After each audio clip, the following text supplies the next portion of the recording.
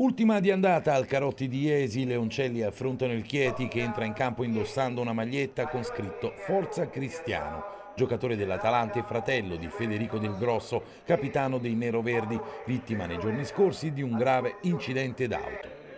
Il primo squillo della gara lo suona Trudo al decimo minuto con un tiro dal limite fuori misura. Risponde subito il Chieti con Dos Santos che serve Fiore, l'esterno teatino prova la conclusione ribattuta. Al minuto 14 gran idea di Strappini che serve Carnevali col contagiri. Il numero 3 di casa tenta la girata e attento Fatone. Ancora Iesina avanti, ci prova al diciottesimo Strappini dal limite dopo uno spunto di Trudo. La palla finisce al lato. Al minuto 24 la Iesina va in vantaggio, ancora Strappini, ispirato, apre brillantemente per Pierandrei che batte Fatone con un preciso diagonale. Alla mezz'ora ancora pericolosi i padroni di casa in contropiede. Trudo è lesto ad arrivare prima di tutti e mettere al centro. La difesa ospite riesce in qualche modo a sbrogliare. Jesina che si difende bene chiudendo ogni spazio per Dos Santos e compagni. Il brasiliano deve dunque trovare soluzioni alternative provando dalla lunghissima distanza. Niosi para in due tempi. Prova ad alzare il proprio baricentro il Chieti sul finire del primo tempo. Atteggiamento che però lascia il fianco al contropiede della Jesina. Trudo parte palla al piede ed è devastante in più di un'occasione. Proprio dai suoi piedi arriva il raddoppio a pochi secondi dall'intervallo, seppur con la complicità di Niosi, sfortunato ad intuire ma non a deviare abbastanza per evitare il gol. Il primo tempo si chiude con un ineccepibile 2-0 per i biancorossi di Bugari. Nella ripresa ci si attende un Chieti arrembante, ma la Jesina è ottimamente messa in campo e al minuto 11 Strappini, ancora lui, cerca la gioia personale. Niosi però è attento. Risponde il Chieti con una punizione di Dos Santos dai 25 metri, ottima la risposta in angolo dell'estremo di casa.